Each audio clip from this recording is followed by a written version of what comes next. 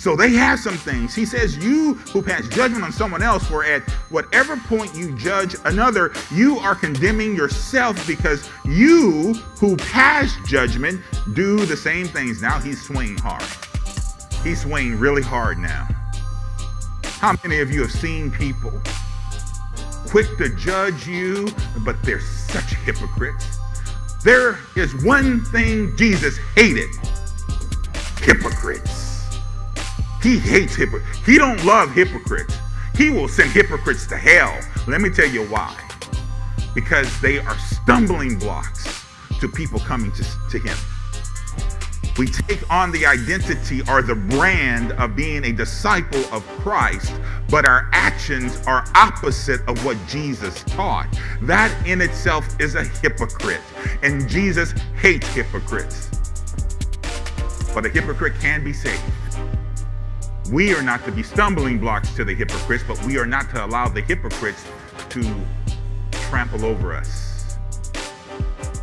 Love is about letting people be seen for who they are. But love is not about allowing someone to trample over you. What do you mean, Pastor? Because love says don't don't don't retaliate. No, we don't go looking for stuff.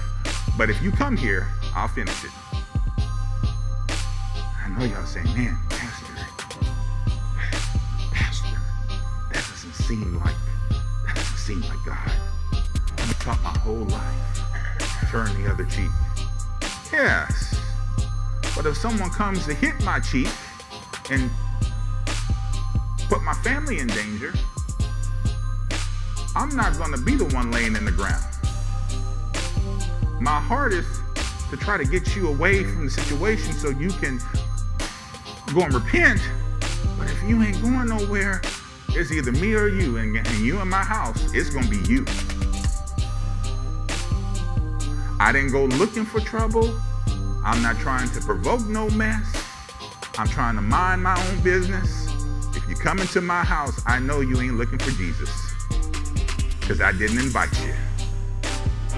Love doesn't allow pigs to trample over the good thing he's placed in you.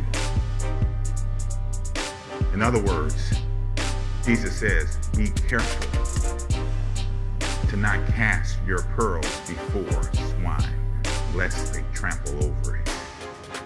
That's the text in the fullness. In other words, make sure you don't let people trample over you. God is doing a good work in you. God is doing some amazing things in you.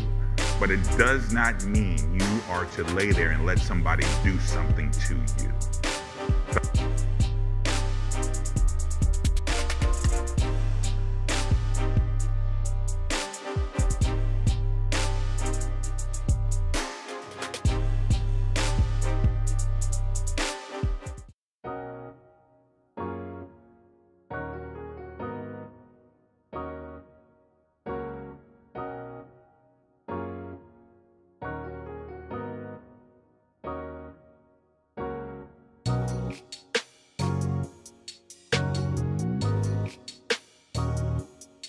Hello, I'm Vincent J. McCaskill, Senior Pastor of By God Inspired Fellowship in Southaven. I would like to invite you to our new Southaven campus. We're located at 7065 Airways Boulevard.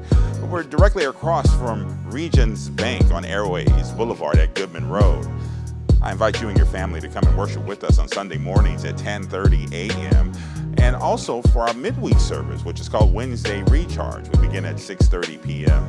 I hope to see you here welcome home.